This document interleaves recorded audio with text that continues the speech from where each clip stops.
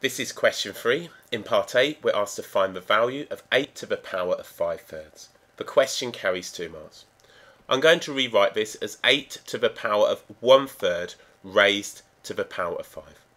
8 to the power of 1 third is 2, so we raise 2 to the 5th power. 2 to the power of 5 is 32.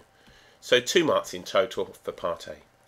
In part B, we need to simplify fully 2x to the half cubed over 4x squared. The question carries 3 marks. I'm going to use rules of indices. We know a to the power of m raised to the power of n will be equal to a to the power of m multiplied by n. So I've got 2 to the first power, which we're going to cube, so that'll give me 2 to the power 3.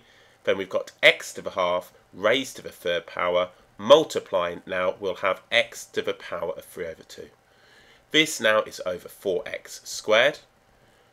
2 to the power of 3 is going to give me 8, so we have 8x to the 3 over 2 divided by 4x squared.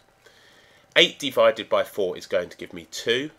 Now we've got x to the power of 3 over 2 divided by x squared, which will give me in the denominator x to the power of 1 half. We can leave it like so, or we can write this as 2x to the power of minus 1 half. Three marks in total for the question.